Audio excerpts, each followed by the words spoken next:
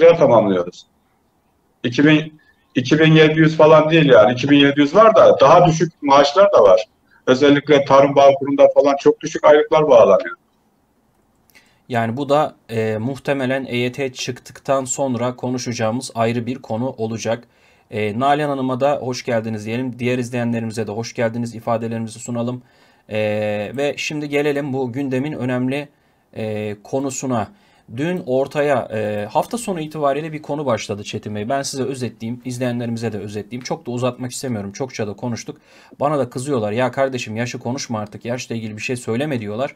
Fakat ben konuşmayayım, susayım ama bugünden bununla ilgili devam edecek. E, ister istemez bundan tedirgin olan vatandaşlar da var. Kesin yaşın geleceğini düşünenler de var bu haberler doğrultusunda. E, tabii her şey de olabilir yani. Biz de burada e, önümüzdeki verilere bakarak yaşın gelmeyeceğini söylüyoruz ama yani son dakika farklı bir karar çıkarsa da ya bunu galiba hiçbirimiz tahmin edemeyeceğiz ama şimdi evet. de hani konuşacağımız konu bu. Hafta sonu bir konu çıktı ortaya denildi ki işte e, tek tip bir kulis bilgisi çıktı. Hem erkeklerde hem kadınlarda 48 yaş sınırı getirilecek yasada. Dün Özgür Erdursun e, bir açıklama yaptı. Çok sağlam bir bilgi aldım dedi. E, şöyle söyledi. Bana gelen duyumlar şu ilk defa buradan açıklıyorum. İsim veremem ama gerçekten çok önemli isimlerden bu bilgi geldi. Şu ana şu anda kadınlarda 45, erkeklerde 47 yaş düşünülüyor. Muhakkak bir yaş sınırı koyalım diyorlar. Söylediğimizden geri adım atmamış oluruz. Hani bu e, şey seçimi kaybetsem de yokum gibi bir ifade var evet. orada ona atıfta bulunuyor sanırım. Hem de herkesi ikna edecek bir yaş söylemiş oluruz. Kadınlarda 45, erkeklerde 47 yaş ciddi ciddi masada diyor. Ancak EYT'lerin yoğun baskısı yaş şartına karşı e, beraber hareket etmeleri AK Partilerin elini çok zorlaştırıyor. Açıklama yapmadılar bu nedenle.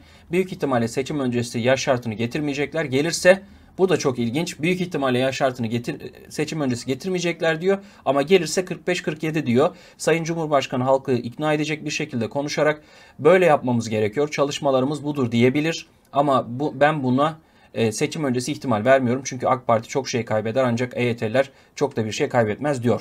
Yani tüm bu iddiaları tek bir çerçevede toparlayacak olursak hani ayrı ayrı konuş e, açmak istemedim tek bir başlıkta. Siz nasıl değerlendiriyorsunuz e, bu 45-47 konusu son çıkan konu. E, daha önce 48 40 50 idi. Sonra 48 oldu tek tip. Şimdi de 45 47. Neler söylemek istersiniz? Mümkün müdür teknik olarak e, bu açıklamalara göre? Murat Bey, e, yaş yaş konusu hiç bitmez. Biz başladığından beri bu EYT mevzusu başından sonuna kadar bu sürekli indi çıktı bu yaşlar. İlla ki bir yaş mevzusu çıktı. gerek iktidar iktidar kesiminden diyelim yani birinci ağız değil de hani ben diyorum ya konuşmaması gerekenler konuşuyor, konuşması gereken susuyor. Kastım o o benim e, konuşma konuşması gereken konuşmazsa biz bu yaşları hala da konuşuruz ve bakan bakandan e, bahsediyoruz. Çünkü bakan evet. yaşla ilgili net bir şey hala açıklamış değil. Ya şunu diyemiyor Sayın Bakan. E, yaş konusunu kesinlikle düşünmeyin. Yani yani üstü kapalı konuşuyor, yorumu açık konuşuyor. Evet, yorumu açık, açık konuşunca istediğiniz gibi yorumlarsınız. Murat Bey yorumu açık bir ifade bırakırsanız ortaya. Ama şu, e, yaş kesinlikle bakın EYT ile ilgili, EYT kapsamına girenlerde yaş mevzusu yok. Eğer şayet yaş kriteri getirirlerse 45 45 47 de değil. Ee, 45 45 de getirseler, 43 45 de getirseler, herhangi bir yaş sınırı getirseler çıkan çıkan kanun e, bunlara artı olarak değil eksi olarak yansıyacaklar. Çünkü kaba bir tabirle yaş artık alerji yapıyor insanlarda. Artık alerji oldu yani yaş konusunu duyan e, neredeyse şuurunu kaybedecek bu EYT konusunda.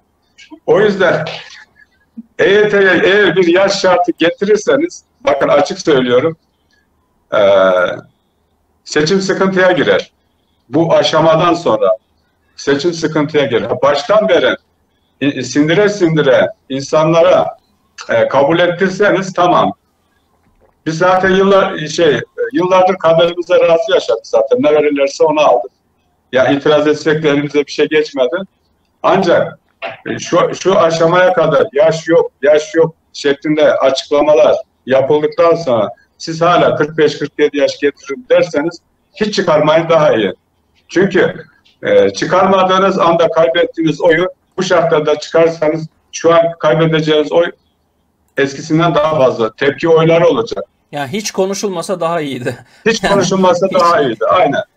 Hiç gündeme getirilmeseydi daha Yani, iyiydi yani. Bunlar tecrübeli siyasetçiler Murat Bey. Bunu benden sizden daha iyi bilirler. Eğer yaş konusunu getirirlerse e, neler olacağını yaşayarak görecekler. Biz de göreceğiz Murat Bey. O yüzden Aslında ben yine söylüyorum bana göre yaş EYT kısmında yaş yok ama 9 Eylül 99'dan sonra yaş gelebilir. Gelmesi de lazım. E, en azından bir yumuşatma süresi olur. Bakın 8 Eylül 99 ile 9 Eylül 99 arasında 15-20 yıl e, yaş bekleyecekler var. Burayı da yumuşatmak lazım. Sadece EYT bitirdikten sonra e, geride kalanlar da bir e, çok sert bir şeyle karşılaşacaklar yani. Sert bir sistemle karşılaşacaklar. Biraz yumuşatmak gerekir diyorum. Bu 48-50 yaşlar böyle e, yumuşatarak ileri yaşlara getirilebilir yani. Evet bu arada değerli izleyenler an itibariyle 20 bin abone olduk. Ee, herkese çok teşekkürlerimizi sunuyoruz. Hayırlı olsun ya. Ee, sağ olun, teşekkür ederiz. Ee, her geçen gün aramıza yeni izleyiciler katılıyor. Biz de ilk günde yayınlarımız neyse, ne çizgideyse aynı şekilde devam etmeye bundan sonrası için de sürdüreceğiz. Teşekkürlerimizi sunuyoruz. Ben siz konuşurken bir şey dikkatimi çekti. Bakan Bilgin, yani aslında Bakan Bilgin açıklamıyor, konuşmuyor, söylemiyor diye söylüyoruz ya. e, aslında Bakan Bilgin'in son açıklamalarından bir tanesinde Bakan Bilgin diyor ki 99 öncesi bir yaş sorunu var. Biz onu çözüyoruz diyor. Evet. Yani Bu bize yetiyor. Bakın. Bu açıklama bizim için yeterli. Ama bazı e, herkes için yeterli gelmiyor Murat Bey yani.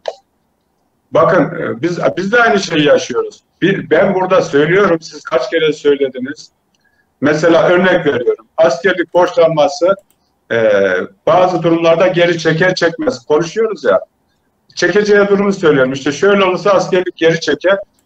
E, bitiyor, konuşmamız bitiyor. Arkasına özelden mesaj atıyorlar. Ben şu tarihte askere gittim, şu tarihte işe girdim. Askerliğim çeker mi çekmez mi?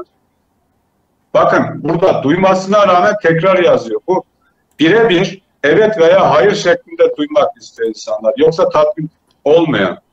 Birebir e, yani zannediyor ki kendi sorunu e, benim anlattığım sorunun farklı bir şey e, içerisinde değil. Benim sorunum farklı zannediyor. Evet veya hayır şeklinde açıklama istiyor. Bakanın e, açıklamaları bizim için yeterli. Bakın bizim için yeterli ama herkes için yeterli gelmeyebilir. O yüzden bu yorumlarda e,